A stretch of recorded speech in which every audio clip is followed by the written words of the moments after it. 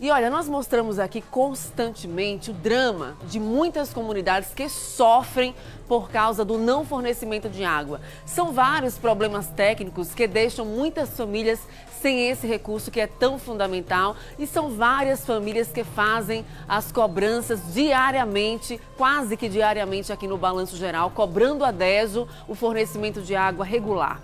Lá no município de Tobias Barreto, o problema tem sido o furto de água. A polícia, o Ministério Público e a DESO estão de olho. Ontem teve uma operação por lá para investigar esses furtos que têm sido constantes. Põe aí na tela do BG.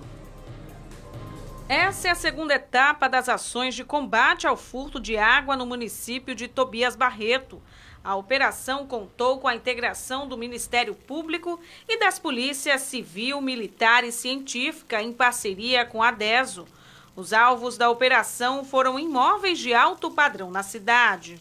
Nessa segunda fase foram realizadas novas prisões em flagrantes e angariados novos elementos para instauração de inquéritos policiais para apuração da prática de crime por pessoas que insistem em no município realizarem e promoverem ligações clandestinas de água.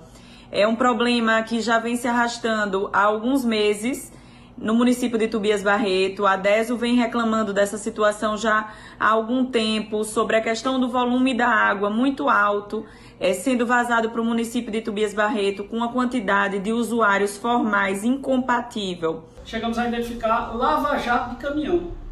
Então, essa utilização de água indevida tem essa peculiaridade. São pessoas que tinham condições de pagar água. E tem uma segunda peculiaridade, que é a preocupação do Ministério Público, que é essa água, quando, ela, quando é feita essa ligação direta, acaba toda a rede se contaminando.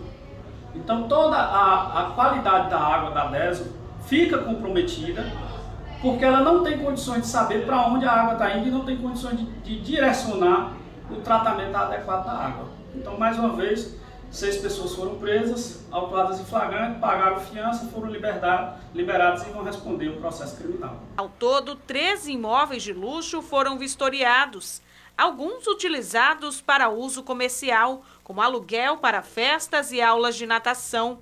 As investigações flagraram ligações clandestinas de água nos locais vistoriados pelos peritos. Foram verificadas nessas fiscalizações é, residências, de alto poder aquisitivo, né? então que não se justifica realmente a ocorrência desses ilícitos, inclusive alguns estabelecimentos comerciais, mas as, as operações elas não param por aí.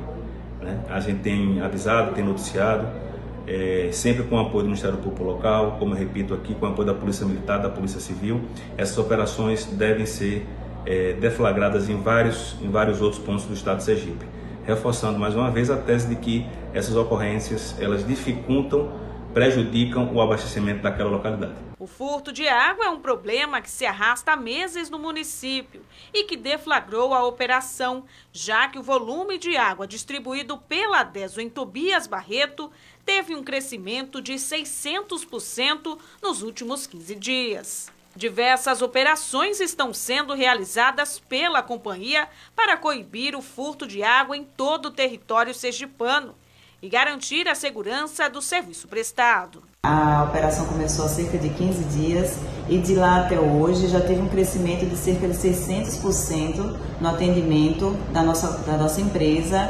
visando novas ligações ou mesmo regularização das ligações anteriores. A ideia da operação é que com isso, com a população se regularizando juntamente de saneamento, melhore a oferta de água e assim melhore a qualidade do serviço no município. A operação vai se estender durante todo o estado e a DESO vem incrementando seu serviço de atendimento para atender a todos vocês. Importante demais essa atuação do Ministério Público combatendo aí o furto de água e é importante também que o Ministério Público atue para que a DESO garanta o fornecimento de água regular para todas as comunidades aqui na capital e no interior.